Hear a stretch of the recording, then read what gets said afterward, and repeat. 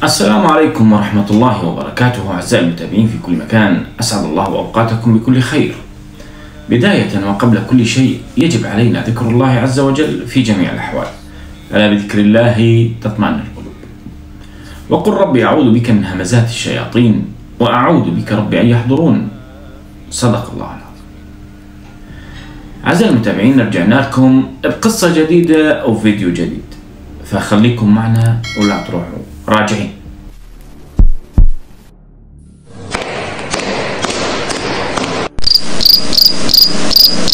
حياكم الله من جديد أعزائي المتابعين واهلا وسهلا بكم بقناتكم قناة الرعب هيرولكس.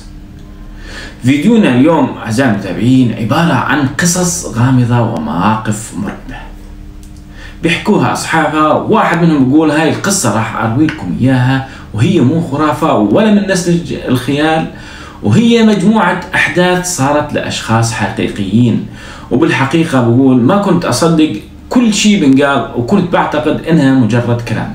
لكن مع مرور الوقت حدثت لي أشياء غريبة. بقول بالأول كنت بقول بنفسي إني بهلوس أو بتخيل لكن صار إشي ما كان بالحسبان. وراح أروي لكم بعض من هاي الأشياء. بقول كانت أمي بتقرأ القرآن كل ليلة لمدة شهر تقريبا. بس كانت بتقرأ آية الكرسي بالضبط طول هاي المدة وكانت بتقرأها أكثر من ألف مرة. وبيوم من الأيام عند نهاية الشهر ظهرت لها أشياء غريبة ما كانت بالحسبان نهائيا. كان في رجل طويل القامة وأسنانه كلها من ذهب وكانت بجنبه امرأة جميلة الوجه بس الأكثر غرابة والرعب هو الشيء اللي كان بجنبهم مليء بالشعر ويبدو كروي الشكل ومخيف جدا. وبهالوقت كانت مصدومة وغير قادرة على التحرك. وبلحظة هالرعب اتكلم الرجل وقال لها لا تخافي تقدري تتكلمي بكل أريحية لكن مع الصدمة فقدت الوعي. وبالحقيقة كانت بتصير أشياء غريبة من حوالينا بالخصوص بمنزل جدي أبو أمي. بيوم من الأيام كان في حفل زفاف خالتي وكان في كثير من الناس مما أدى لاكتظاظ المنزل بهذاك الوقت. إجت جدتي الله يرحمها بعدين قالت لنا يا أولاد إذا كنتوا بدكم تلعبوا روحوا للسطح.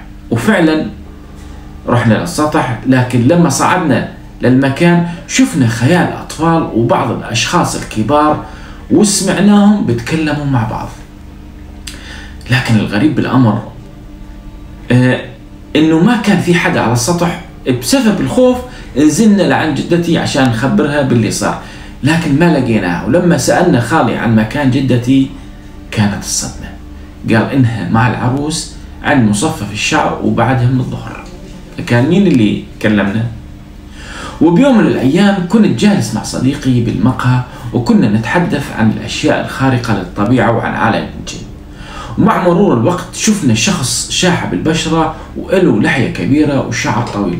جلس على أحد الكراسي قدامنا بعدين طلب قهوة واستخرج سيجارة بس كان يتحدث كما لو كان معه في شخص ثاني بقول بصراحة ارتبكت شوي أنا وصديقي. بعدين إجا لعندنا العامل اللي بالمقهى وقال لنا بهدوء ما في إشي بخوف. الشخص الموجود قدامكم هو بكامل قواه العقلية لكن كان مهووس بالأمور اللي بتتعلق باستحضار الجن وجلب الكنوز. وقال لنا إنه كان بيدفع ملايين الفلوس عشان لناس كانوا يتحكموا إنهم يتحكموا بالجن وبطلعوا الكنز. وبأحد الأيام صار لهم حادث بأحد الجبال وقال إنه ظهر لهم إشي كريه الرائحة كبير الهيئة كثير الشعر.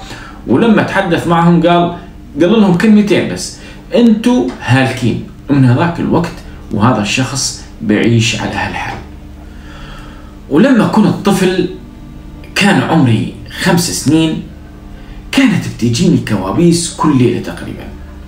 وبشوف نفس الأشخاص ضخام الجثث وبيتعاركوا فيما بينهم. وبتتعالى أصواتهم وأني هون بقوم من النوم مرعوب وعم ببكي وأمي بتهدي فيا وبعدين بعد أسابيع صرت أشوف نفس الأشخاص بس هاي المرة كنت أشوفهم باليقظة وأني صاحي. وبقول لأمي وأبوي وأني مرعوب وأبكي ما بتشوفوا اللي بشوفه؟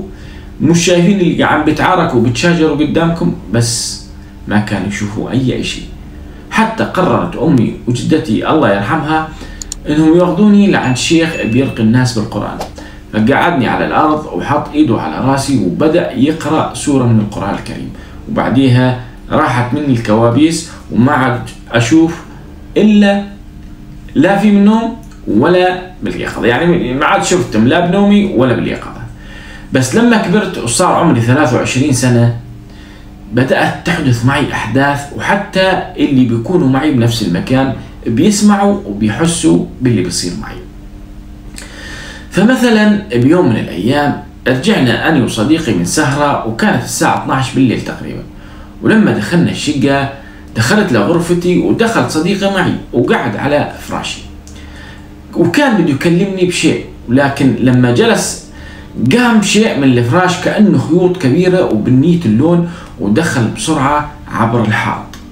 هون صديقي كان راح يفقد عقله من الخوف وهرب من شفتي أما الحادث الثاني فكان لما كنت بشتغل بمكان عملي الحالي وقفت أنا وزميلتي بالشغل وزميل إلي عم نتكلم ونشرب القهوة بغرفة الاستراحة. فسمعنا صوت عم يصرخ باسمي بالغرفة مع أنه ما كان في حدا إلا أني وهالثلاث يعني إحنا هالثلاث أشخاص أنا وزميلتي وزميلي.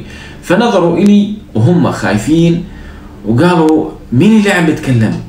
هون أني يعني قلت لهم آه أنتوا سمعتوا اللي سمعتوا أني؟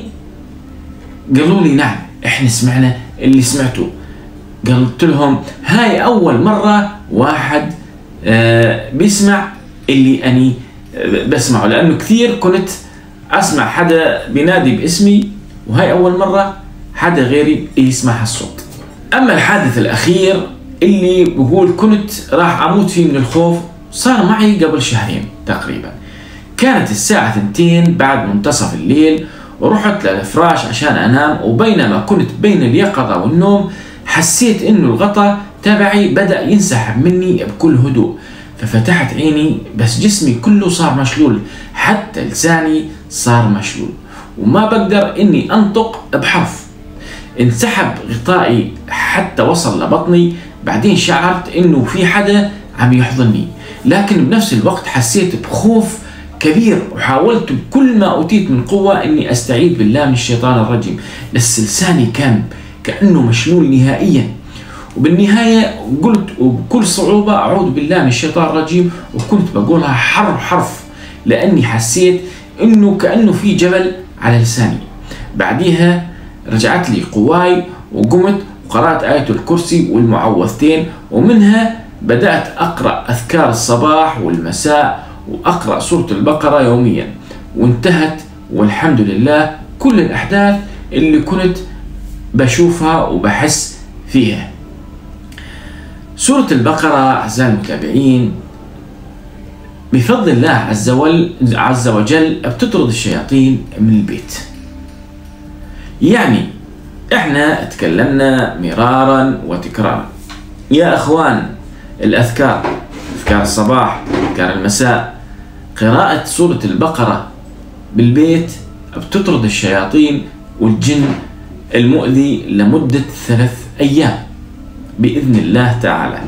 فلازم يعني حتى ما بدكم تقروها شغلوا التليفون آه، آه، اليوتيوب مليان بالمشايخ اللي بيقرأوا سورة البقرة. طيب في آه، باليوتيوب كثير شيوخ بيقولوا أذكار الصباح وأذكار المساء فإحنا يعني إذا إحنا عجزانين نقول بلساننا فبنشغل التليفون على أذكار الصباح وأذكار المساء ما فيها شيء يا أخوان يا أخواني إحنا تكلمنا كثير إنه الحصن الحصين إنه إنه نرجع لله عز وجل ونتحصن بالله عز وجل كما أمرنا النبي صلى الله عليه وسلم أذكار الصباح وأذكار المساء. لهون اعزائي المتابعين انتهى الفيديو. إن شاء الله يكون حاز على إعجابكم يا ريت تتكرموا علينا بالاشتراك بالقناة تسجيل إعجاب تفعيل الجرس عشان يصلكم كل شيء جديد. دمتم بخير. السلام عليكم.